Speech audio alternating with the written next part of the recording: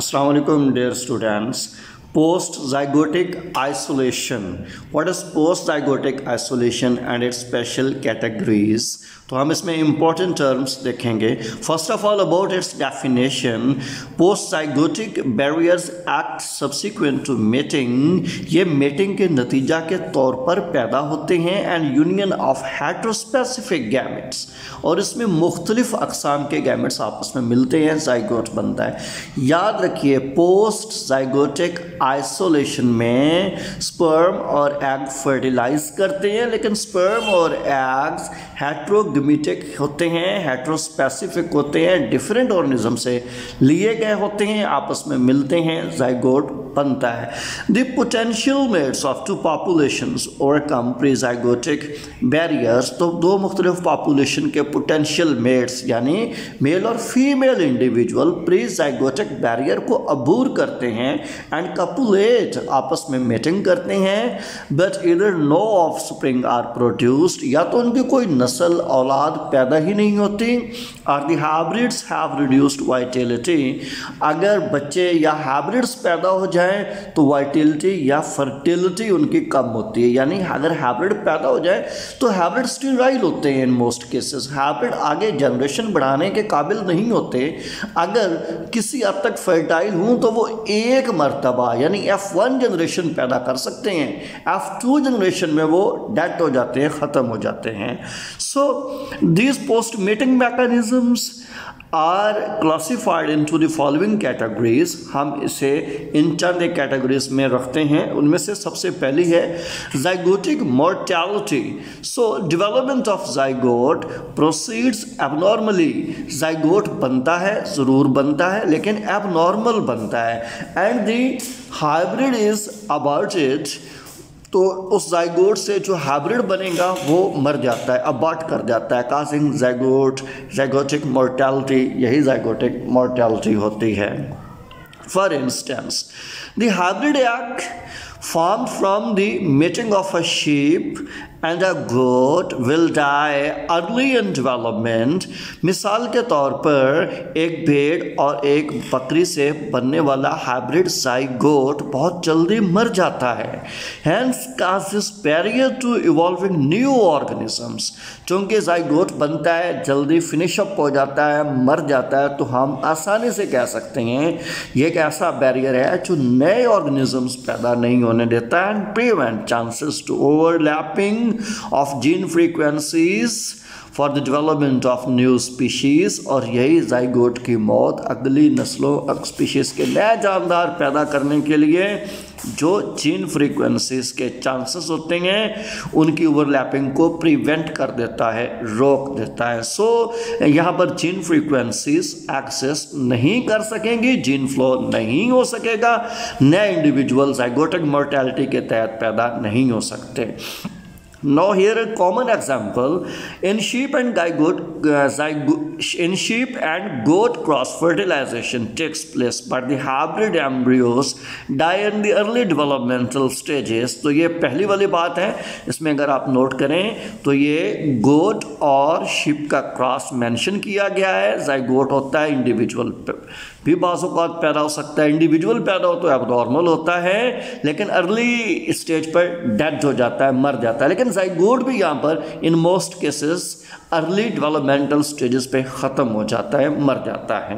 Now, here are few other examples uh, with respect of zygotic mortality. First one is a cross between sea urchin. Sea के crosses हैं दो species के दरमियान हैं इनके embryo भी गैस्ट्रोला स्टेज पर पहुँचने से पहले ही डेथ हो जाते हैं ख़त्म हो जाते हैं लिहाजा इनके एम्ब्रियो एक्सेस नहीं कर पाते इंडिविजुअल पैदा नहीं हो पाता तो जिन दो स्पीशीज़ के दरमियान ये क्रॉस हैं। उनमें से एक पैरासेंट्रूरस लेविडस है और दूसरी सिमैकिनस स्मैकिनस माइक्रोट्यूबो क्यूलेटस है।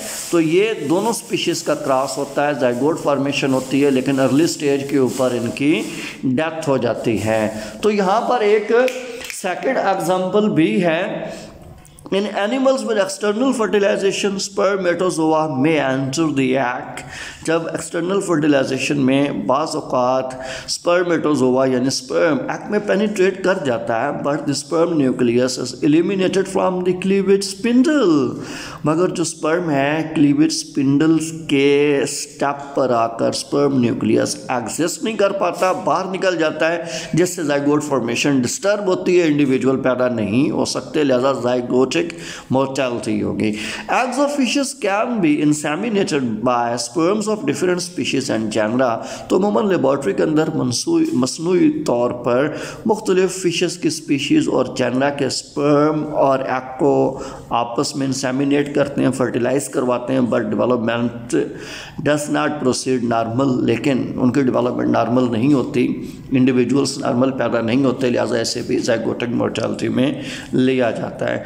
No here is a second type of post zygotic Isolation, that is the hybrid in viability. In some interspecific inbreeding, the zygote develops normally, but the hybrids have lower survival rate than non-hybrids. तो याद रखिए दो terms आ गई एक hybrid और दूसरा non hybrid hybrid हम जानते हैं डिफरेंट स्पीशीज़ के मिलाप से जो जानदार पैदा होंगे वो हाइब्रिड होंगे, जबकि सेम स्पीशीज़ के इंडिविजुअल के मिलाप से पैदा होने वाले जानदार नॉन हाइब्रिड होंगे।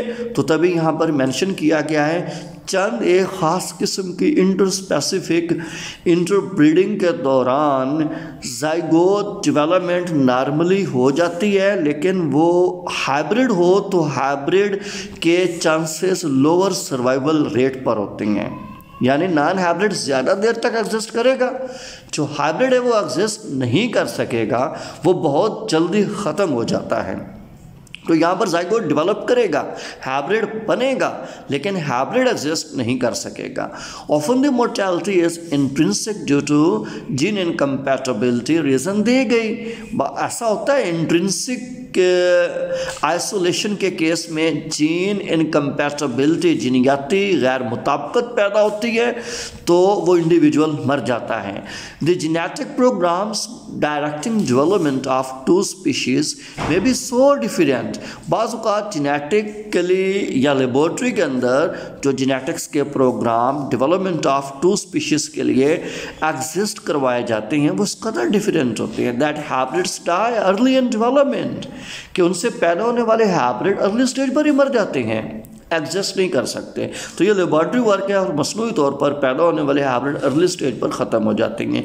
Even if the hybrid completes the development अगर हाइब्रिड डेवलपमेंट कंप्लीट भी कर ले it fails to survive long and reach reproductive stage तो ये बाज़ अवत ज़्यादा देर तक या ज़्यादा अरसा तक बरकरार नहीं रह पाता और अपनी रिप्रोडक्टिव स्टेज यानी बलोगत तक भी नहीं पहुँच पाता, पहले ही उसकी डेथ हो जाती है। अब यहाँ पर एग्ज़ाम्पल मैंशन की गई है।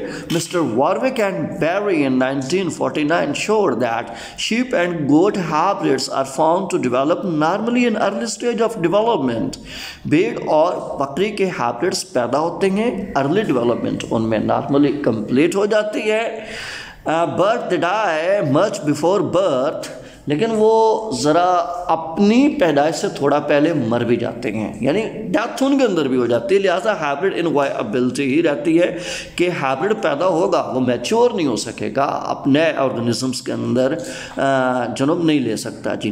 तो यहाँ पर वही बात की गई है, यहाँ इस एग्ज़ाम्पल या शक्ल में हाइब्रिड शिप दिखलाई गई है और हाइब्रिड गोट दिखलाई गई है। ये अमूमन हाइब्रिड तो हो जाती हैं, पैदा भी हो जाती हैं बट एक्सेस एडजस्ट नहीं करते सर्वाइवल ऑफ़ चांसेस इनके बहुत ही कम होते हैं। No here is hybrid inviability with another example and and other aspect First of all, hybrid zygote fails to develop into an adult hybrid. Hybrid zygote जो different species के मिलाप से mating से पैदा होता है वो अडल्ट हाइब्रिड में कन्वर्ट नहीं हो पाता common example frogs of genus Rana can form hybrid tadpoles Tadpoles, but the tadpoles die before becoming adults. Rhina frog की राना जीनस में हैब्रे टैडपोल पैदा होते हैं लेकिन ये टैडपोल कभी अडल्ट में कन्वर्ट नहीं होते बहुत जल्दी ये मेच्योर फॉर्म में मर जाते हैं।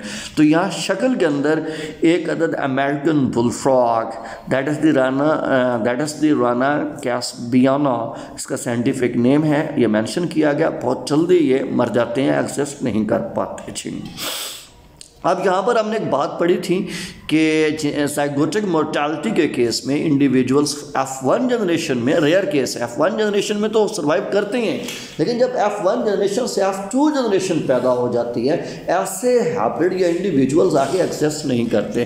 तो यहाँ ये आप देख लें dissimilar but closely related species आपस में मेट कर रही हैं, उनकी एफ़ वन जनरेशन पैदा होती है। जब एफ़ वन जनरेशन आपस में मेट करती हैं एफ़ टू जनरेशन पैदा होती है एफ़ टू जनरेशन अपने आप को अडल्ट तक नहीं ले जा सकती। वो मर जाती है तो हाइब्रिड है, ख़त्म हो जाता है।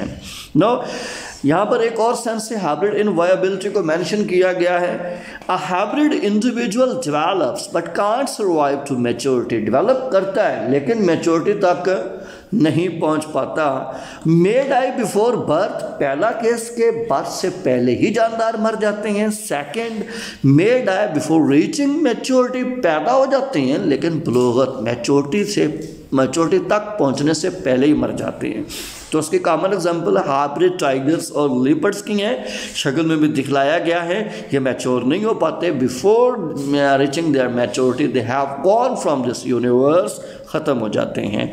थर्ड केस डायगोटिक आइसोलेशन का that is the hybrid sterility or hybrid infertility the hybrids of certain interspecific crosses are found to be sterile or semi sterile बाज़ ऐसा होता है कि इंटर स्पेसिफिक क्रास के नतीजा के तौर पर पैदा होने वाले हाइब्रिड ये तो कंप्लीट स्टीराइल होंगे या सेमी स्टीराइल होते हैं। सेमी स्टीराइल का मतलब unable to produce normal sperm और एग्स ये नॉर्मली अपने गैमेट्स स्पर्म भी पैदा करते हैं एक्स भी पैदा करते हैं। इधर the chromosomes fail to pair at meiosis लेकिन जब इनके अंदर म्योसिस हो रही होती है इनकी क्रोमोसोम पेयरिंग नहीं होती, यानी सैनाप्सिस फेल हो जाती है।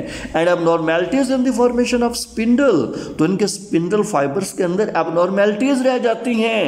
And failure of cell division occur in the spermatocytes तो इनके primary yes can specially primary spermatocyte के अंदर सेल सेल डिवीज़न नकारा होकर रह जाती है। तो केसेस देखें कि क्रोमोसोम एबनॉर्मली पेयर करते हैं नॉर्मल पेयर नहीं करते। इनके स्पिंडल फाइबर बनाने में या इनके स्पिंडल अपरेटस फॉर्मेशन के अंदर एबनॉर्मेलिटीज़ आ जाती हैं, फिर इनके प्राइमरी स्पर्मेटोसाइट की प्रोडक्शन में सेल डिवीज़न प्रॉपर नहीं हो पाती।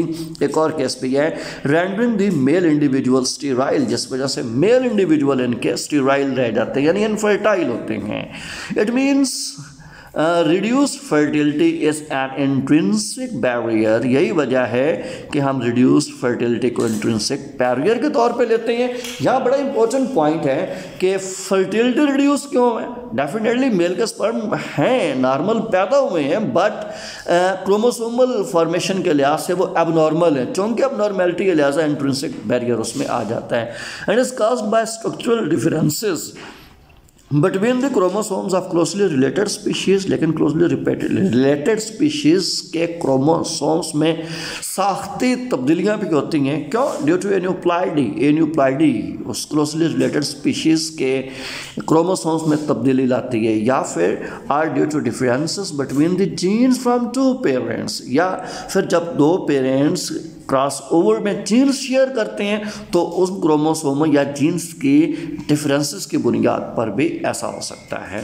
याद रखिए हाइब्रिड स्टीरियलिटी के दो केस हैं। पहला केस है developmental hybrid sterility hybrids are sterile because gonads develop abnormally पहली वजह यह है कि हाइब्रिड इसलिए स्टीराइल है, उनके गुनेट्स एबनॉर्मल होते हैं।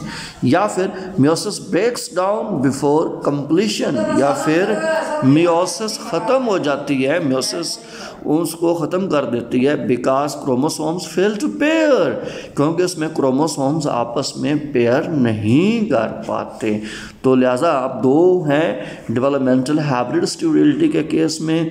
पहला है कि गुनेट्स प्रॉपरली डेवलप नहीं कर पाते, दूसरा केस है क्रोमोसोम प्रॉपरली पेयर नहीं कर पाते, जिससे म्योसिस ख़त्म हो जाती है। अब सेकंड केस देखते हैं that is the segregational hybrid sterility hybrids are sterile because of abnormal segregation of the whole chromosomes बाज़ात हाइब्रिड इसलिए भी स्टीराइल होते हैं कि उनके मुकम्मल क्रोमोसोम्स का सेट एबनॉर्मल सेग्रीगेशन करता है। नॉर्मल क्रोमोसोम एक दूसरे से सेपरेट नहीं हो पाते नॉन डिस्टिंक्शन फुली होती है। Chromosomes segments or combination of genes passed on to the यही क्रोमोसोम के सेगमेंट या कम्बिनेशन अगली नस्लों में चले जाते हैं, जो कि इम्प्रॉपरली मैनेजड हैं। उनके अंदर नॉन डिस्टिंक्शन हुई हुई है। गैमेट्स विद एक्सेस और शॉर्टेज ऑफ़ क्रोमोसोम तो जो नए गैमेट्स बनेंगे एग्रेस पर या तो उनमें क्रोमोसोम इजाफी होंगे या फिर कम होते हैं। या जीन्स कम होंगे या ज़्यादा होंगे that's why genes may not survive and produce sterility तो वो जीन्स एक्सेस नहीं करेंगी और जानदारों में स्टेरिलिटी आ जाएगी।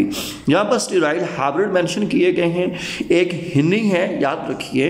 Hinny is offspring of a male horse male horse and a female donkey so it's a cross of male ass and female donkey यानी नर घोड़ा और मदा गधे के क्रॉस से पैदा होने वाला इंडिविजुअल ही नहीं होता है इट्स अ स्टीराइल हाइब्रिड ये आगे अपनी नस्ल नहीं बढ़ा सकता यस बिफ्यूलो यानी beefalo beefalo the offspring of a male buffalo यानी ये नर, भैंस और मादा गाय का क्रॉस होता है। ये भी स्टीराइल होता है, या स्टीराइल हाइब्रिड है, आगे फॉरवर्ड अपनी जनरेशन नहीं बढ़ा सकता। Now here is hybrid sterility. In other sense, example भी हमें mention की गई है hybrids live to adulthood. Hybrid अपनी जवानी तक रह पाती हैं but can't produce viable gametes इस केस में उनके गैमेट्स वायबल या फर्टाइल नहीं होते कॉमन एग्ज़ाम्पल स्ट्यूराइल हाइब्रिड में म्यूल्स की है म्यूल के बारे हम जानते हैं जो कि फीमेल हार्स और मेल डंकी का क्रॉस होता है ये यहाँ शक्ल के अंदर भी म्यूल हमें दिखलाया गया है तो दूसरी common example Drosophila's male hybrids और स्टीराइल ड्रोसोफिला के मेल हाइब्रिड अमूमन। स्टीराइल होते हैं while female hybrid usually fertile, लेकिन ड्रोसोफिला के जो फीमेल हाइब्रिड पैदा होते हैं, वो फर्टाइल हैं। फीमेल्स अपनी जनरेशन बढ़ा सकती हैं, लेकिन मेल्स अपनी जनरेशन बढ़ाने के काबिल नहीं होते। No here is another case that's the female in sorry that's the hybrid infertility अब हाइब्रिड इन फर्टाइल होंगे। Species which are similar can often reproduce ऐसी स्पीशीज जो एक जैसी होती हैं आपस में रिप्रोड्यूस करती हैं. If however they have a different chromosome number this poses problems अगर उनके क्रोमोसोमल नंबर एक दूसरे से डिसिमिलर हूँ डिफरेंट हूँ तो फिर प्रॉब्लम्स आती हैं. With unequal number of chromosomes contributed from the father and the mother अगर माँ और बाप, यानी दोनों parents unequal number of chromosome एक दूसरे के साथ कंट्रीब्यूट करें there are no proper pairings तो उनकी कोई प्रॉपर क्रोमोसोम की पेयरिंग नहीं बनती। During meiosis sperm and eggs can not develop लिहाजा ऐसे जानवरों में स्पर्म और एग डेवलप नहीं करेंगे। बात तो आसान सी है कि माँ और पेरेंट्स सिमिलर हैं बट उनके अंदर नंबर ऑफ़ क्रोमोसोम सिमिलर नहीं है अनइक्वल हैं। उनकी क्रॉसिंग ओवर नहीं हो सकेगी साइनाप्सिस नहीं हो सकेगी, लिहाजा स्पर्म और एग से नया इंडिविजुअल पैदा नहीं हो सकेंगे, जी। तो सो यहाँ पर पोस्ट साइड अपना हम डिस्कस कर रहे थे कॉमन एग्जांपल है the hybrid offspring of male donkey and female horse a mule तो या फिर रोबस्ट स्टीराइल होता है रोबस्ट स्टीराइल मीन्स कि वो एक हद तक, यानी एफ़ वन तक तो पैदा करता है एफ़ टू में पैदा नहीं करता। हिन्नी इसको भी हमने देखा, थर्ड एग्ज़ाम्पल यहाँ पर। लाइगर की है तो लाइगर अमूमन मेल लाइन और फीमेल टाइगर का इनफर्टाइल क्रॉस होता है। यानी इनफर्टाइल होगी, स्टेराइल होगा। इस आगे नए बच्चे पैदा करने की सलाहियत नहीं रखते लाइगर साहब। तो fourth one case is the hybrid breakdown और हाइब्रिड इन्फिरॉरिटी तो हाइब्रिड ब्रेकडाउन या हाइब्रिड इन्फिरॉरिटी देखते हैं in many interspecific crosses the hybrids have low survival values तो इंटरस्पेसिफिक क्रॉस में हाइब्रिड्स अमूमन अपने सर्वाइवल के बहुत कम चांस रखते हैं। They may display behaviours that are mixture of both the parental species तो हाइब्रिड पैदा होंगे। उसमें दोनों पेरेंटल स्पीशीज़ के, यानी दोनों पेरेंट्स के करैक्टर्स भी होंगे। And in doing so they are hope hopelessly uncoordinated लेकिन वो एक दूसरे के साथ कोऑर्डिनेट नहीं करते होंगे। For example hybrids between certain love birds have great difficulty in learning to carry nest material during flight मसलन कुछ लव बर्ड्स के हाइब्रिड पैदा हो जाते हैं, जो कि हाइब्रिड ब्रेकडाउन या हाइब्रिड इन्फ्रॉरिटी का शिकार होते हैं। जब फ़्लाइट करते हैं तो अपने घोंसले बनाने के लिए, जो घोंसलों के लिए तरकार मटेरियल होता है, उसे उड़ते हुए उठा नहीं सकते। अगर वो उड़ते हुए नहीं, ज़ाहिर है घोंसला बनाने के लिए मटेरियल दूर से लेके आना पड़ता है डिस्टेंस से कैरी करना पड़ता है। तो उस उस वज़न को, उस मटेरियल को जिससे घोंसला बनाना होता है, उठा नहीं सकते। तो घोंसला कैसे बनाएँगे? घोंसला नहीं बनाते तो फिर ख़त्म हो जाते हैं। तो अनवायरनमेंट या निज़ाम फितरत बड़ा बेरहम है, उन्हें ख़त्म कर देता है। In many interspecific crosses the first generation are fully fertile तो इस केस में जो अमूमन पहली जनरेशन होती हैं फर्टाइल होती हैं but they mate with one another जब एक दूसरे के साथ मेट करते हैं या किसी दूसरी स्पीशीज़ के इंडिविजुअल के साथ मेट करते हैं। Offspring of the next generation are feeble are sterile तो अगली नस्ल स्टीराइल होती है। The weakness of hybrids is attributed to some physiological और इकोलॉजिकल डिफरेंसेस वजह ये है कि हाइब्रिड्स की हाइब्रिड्स वीकेंड होते हैं या वीकनेस शो करते हैं और ये वीकनेस उनकी अमूमन फिजियोलॉजिकल या इकोलॉजिकल डिफरेंसेस की बुनियाद पे होती है तो यही इंडिविजुअल्स जो एफ़ टू में आए हैं, वो रिप्रोड्यूस नहीं कर सकेंगे, क्योंकि उनके सेक्स जेनिटल्स मच मोर जो वीकेंड होंगे फिजियोलॉजिकल या इकोलॉजिकल प्रैक्टिस की बुनियाद पर. So here is an example of hybrid breakdown two organisms are able to mate and produce viable and fertile offspring दो जानदार आपस में मेट करते हैं वाइबल और फर्टाइल ऑफ़ स्प्रिंग पैदा करते हैं. However when the hybrid species mate लेकिन जब हाइब्रिड आपस में मेट करते हैं their offspring are weak and sterile उनकी नस्लें वीक भी होती हैं स्टीराइल भी होती हैं। यहाँ पर एग्ज़ाम्पल में काटन मेंशन की गई है। तो cotton plants produce fertile hybrids इनके हाइब्रिड अमूमन फर्टाइल होते हैं but their offspring die seeds लेकिन उनसे आगे नस्ल नहीं बढ़ सकती थी। उनके जो बीज पैदा होंगे फर्टाइल फर्टाइल हाइब्रिड्स के, वो मर जाते हैं। यानी आगे नए पौधे नहीं पैदा कर सकते जी तो ये एक और एग्ज़ाम्पल है लाइगर की, जिसे हमने पहले भी मेंशन किया है। Hybrids of lions and tigers have been obtained through zoo breeding programs. मसनू तौर पर जू ब्रीडिंग प्रोग्राम्स में ये हाइब्रिड तैयार किए गए हैं, जो कि लाइन और टाइगर्स के हैं। वाइल द फ़र्स्ट जनरेशन में भी हेल्दी इनमें पहली जनरेशन तो सेहतमंद होगी। हाइब्रिड्स बिकम वीक उनके हाइब्रिड्स कमज़ोर होते हैं and sterile in future generation अगली जनरेशन में उनके हाइब्रिड्स कारगर नहीं होंगे, वो स्टीराइल होंगे, नस्ल नहीं बढ़ा सकेंगे। नो आखिर पर हम डिस्कस करते हैं role of isolation specially reproductive isolation के हवाला से पहला role it segregates the members of a large तो ये बहुत स्पीशीज़ के पॉपुलेशन के मेंबर्स को सेग्रीगेट करती है। Wild distributed population of a species into smaller units अक्सर ऐसा होता है स्पीशीज या पॉपुलेशन जो लार्ज साइज़ के छोटे छोटे यूनिट में डिवाइड कर देती क्यों? To prevent inbreeding among them ताकि उनके दरमियान इन ब्रीडिंग ना हो सके, जी। Members of such reproductively isolated units accumulate genetic variations in their gene pools independently in response to their environment. अपने माहौल को मद्देनज़र रखते हुए इनके अंदर जब according to law of independent assortment इनके जीन पूल्स में इस तरह से जेनेटिक अकामुलेशन होती है कि जिनगाती वेरिएशंस पैदा होती हैं यही जिनगाती वेरिएशन उन्हें अलग अलग बैरियर्स में रहने के काबिल अलग अलग क्लाइमेटिक कंडीशंस में अलग अलग हैबिटेट्स के अंदर रहने के काबिल बना देती हैं। So maintenance and conservation of genetic diversity helps in the preservation of adapted variation तो ऐसे जानदारों आइसोलेशन मुख्तलिफ़ स्पीशीज़ या मुख्तलिफ़ पॉपुलेशन के जानदारों को मेंटेन भी करती है और जेनेटिक डाइवर्सिटी की कंजर्वेशन भी करती है। क्यों? बिकॉज़ उनके अंदर जीन फ्लो स्पेसिफिक ग्रुप से होता है। बाज़ात ये नॉन अडोप्टेड ग्रुप से भी हो सकता है। तो इन जीन कंजर्वेशन करना जीन फ्लो करवाना, ये आइसोलेशन के थ्रू होता है।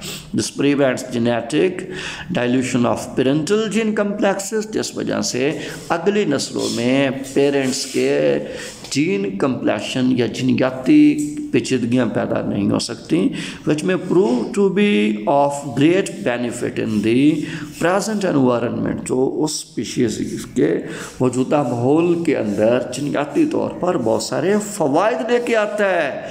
यूज़फुल होती हैं फ़ायदा मंद होती हैं। And their dilution in half rates may be of great disadvantage बाज़ात ये भी हो सकता है कि कुछ जानवरों के अंदर हाइब्रिड्स के अंदर डिसएडवांटेज भी हो और वो सफास्ती से मिट भी सकती हैं। Reproductive isolation prevents interbreeding among the members of different species हाँ तो रिप्रोडक्टिव आइसोलेशन मुख्तलिफ़ स्पीशीज़ के मुख्तलिफ़ जानदारों के दरमियान इंटरब्रीडिंग रोक देता है। Limits formation of hybrids from interspecific mating तो इंटरस्पेसिफिक मेटिंग से पैदा होने वाले हाइब्रिड को रोकता है। अगर वो हाइब्रिड पैदा नहीं होंगे तो वह अपना इनफर्टिलिटी नहीं होगी इन्फेरोल्टी नहीं होगी। तो उस किस्म के ख़तरनाक किस्म के पेयरिंग या स्पीशीज़ की लाइफ थ्रेटन नहीं होगी। स्पीशीज़ के जानदार मरेंगे नहीं, बल्कि सर्वाइवल करेंगे। उनके अंदर useful genetic setup useful gene flow होगा और बड़े अच्छे तरीके से अपने माहौल को compete कर सकेंगे survival of the fittest gain कर सकेंगे। So thank you for watching Hussain lectures Allah.